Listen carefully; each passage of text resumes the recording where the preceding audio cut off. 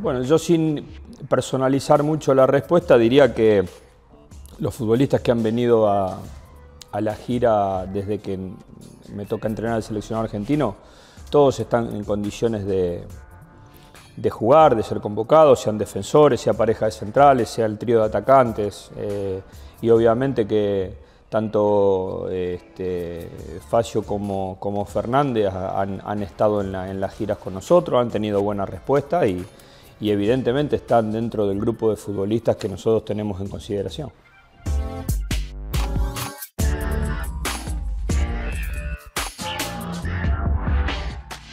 Eh, contestar sin hacer esta aclaración equivaldría a decir o a, conceder que Mascherano tiene buen pie y para mí Mascherano este, sí ha, con el paso del tiempo ha adquirido un pase de salida a partir de, su estadía en Barcelona, que es muy importante.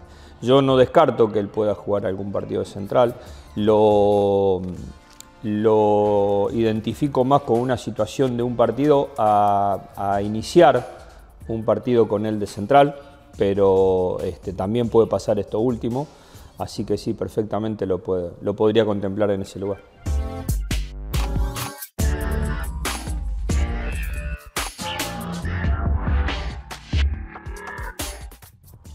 Sí.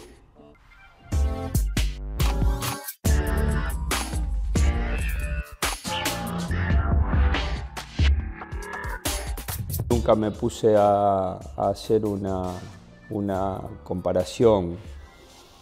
Eh, así lo que se me puede ocurrir ahora es la intención de presionar arriba está, la intención de tener este, tres delanteros está, eh, no sé, la intensidad en el juego, la idea de, a lo mejor de, salir de abajo en forma prolija, si se puede sin saltear líneas.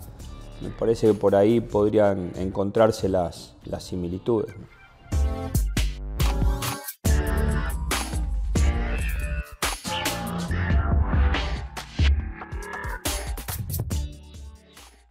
Y porque es difícil cuando hay un cambio de entrenadores que todos tengan una comunión en cuanto a la idea de juego.